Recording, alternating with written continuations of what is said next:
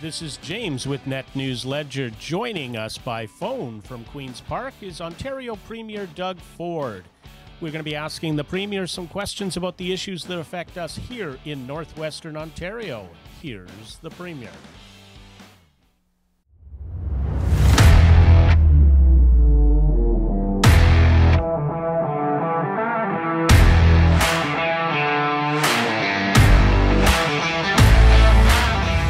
Hi, James. How are you doing? Hey, Premier Ford. Welcome in to Net News Ledger and a virtual trip to Northern Ontario. Yeah, well, thanks for having me on. The uh, province is opening slowly. Here in the north, we've seen a little bit of a jump in the COVID test numbers for Kenora, Sioux Lookout, and Thunder Bay. What advice do you have for people in the province? Well, I think it's absolutely critical, and I, I looked at the numbers this morning. I think there's a Sioux uh, look out. Uh, correct me if I'm wrong. I think there are six active cases, two yes. cases, uh, new cases today, and then Thunder Bay. There's three active uh, cases as, as well. Uh, my my number one goal, uh, or, or, rule, I should say, is the golden rule is to continue to, to practice social distancing and uh, stay, you know, the six feet away from from other other people, and and when possible. Um, I know in the northern region. Um, there isn't as many cases, but still, I would I would wear a face mask uh, when you know when you can. I know not everyone can can wear a face mask, but uh, those who can, I, I'd encourage them to uh, wear a face mask when possible. It protects other people, and uh, likewise, if they're wearing a mask, it would protect uh, uh, the people they're around.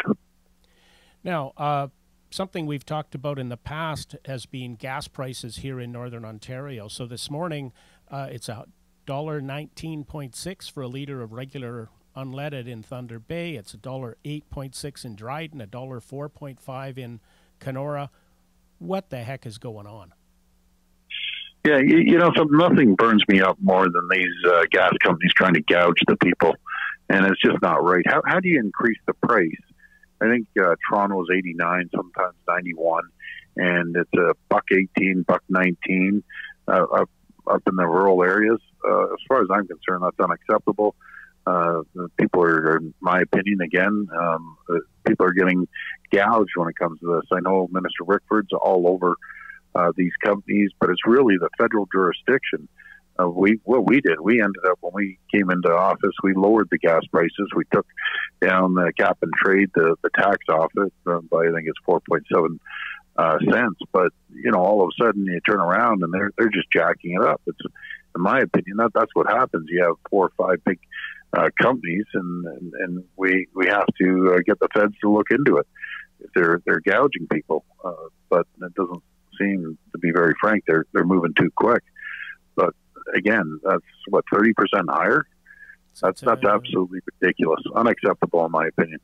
Now, a question I had from a couple of our readers this morning. Um, they contacted us about uh, the hospitals and Indigenous ceremony during birthing. Uh, it's something probably more for the Minister of Health, but what can be done to allow some of these very seriously important spiritual issues for Indigenous people to happen in our hospitals? Well, I, I, good point. I, I, think we have to uh, talk to the Minister of Health and the health table to see if uh, they'll, they'll, allow it. Uh, it is important. It's important to the Indigenous community. It's important to uh, any community that have uh, spiritual uh, areas that they want to, you know, they want to talk about, or, or, or if there's a special ceremony. I, I think it's important. That's why we uh, were able to open the, the churches uh, as well and, and get people going because uh, places of uh, worship are, are important to people. Uh, they they need to go and and uh, speak to their spiritual leaders. I, I think it plays an important role in our, our community and our province. Now, you've been working uh, extra hard. We've seen you every day in Queen's Park doing an update for media and answering questions. When can we expect you up in the northern part of the province? Well, I'm going to be going on a little tour of the province, and uh, over the next month, two months, um, I'd love to get up there. I feel right at home in, in, in Thunder Bay. We've done a tremendous amount of uh, things for the people up in, in Thunder Bay. I remember I first went up there for Resolute Paper, which is a big employer. Uh, we gave them tens of millions of dollars. Uh, also up there with Bombardier, uh, we ended up pushing forward the orders for the, the transit requirements to make sure people uh, are, were employed and continue being employed. And and we uh, there's there's a whole raft of uh, items here.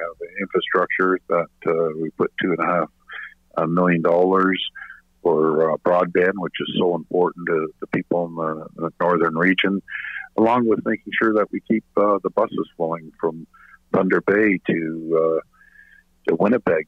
That, that's critical. People need to get around from point A to, to point B. Uh, we're also uh, putting a large investment into building a new jail. There's been a lot of uh, issues, an antiquated uh, system up there that uh, we, we need to support uh, the, the front line correctional services officers as, as well. But we're going to continue supporting the people of Thunder Bay. And I guess my, uh, I usually don't say political statements, but I, am going to uh, right now, James uh, we're doing everything we can in supporting Thunder Bay. And, uh, you know, I, I couldn't even, to be very frank, if it wasn't for Greg Rickford, I don't even know who your local MPP is. They, they don't speak up. They don't say anything. I don't know if it's an NDP or a Liberal, but I just uh, ask the people of Thunder Bay, uh, have a loud voice uh, down at Queen's Park. Would love you to give us an opportunity next time. We're, we're showing the people of Thunder Bay um, how much they mean to us. And I'll be up there uh, once again uh, and, and, listening to their concerns and bringing them back to Queens Park. But we need a, one of our local folks uh, to represent you down at Queens Park. Premier, I want to thank you for taking the time, and we hope to thank see you, you up so in Thunder Bay. Can't wait. You take care. Thanks so much, James. Have a safe weekend. Stay informed and stay up to date. Hit subscribe, hit like, share this with a friend. Make sure you hit the little bell so you get notified the next time that we have a video up. Thanks for tuning in to Net News Ledger.